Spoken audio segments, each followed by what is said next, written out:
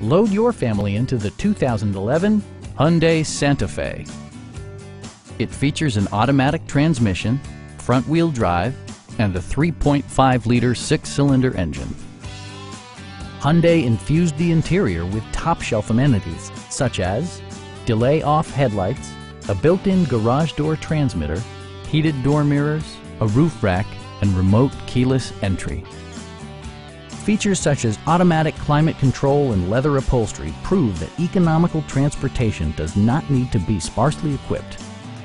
For drivers who enjoy the natural environment, a power moonroof allows an infusion of fresh air. Hyundai also prioritized safety and security by including dual front impact airbags with occupant sensing airbag, front side impact airbags, traction control, brake assist, anti-whiplash front head restraints, a panic alarm, and four-wheel disc brakes with ABS. Electronic stability control ensures solid grip atop the road surface, no matter how challenging the driving conditions. Please don't hesitate to give us a call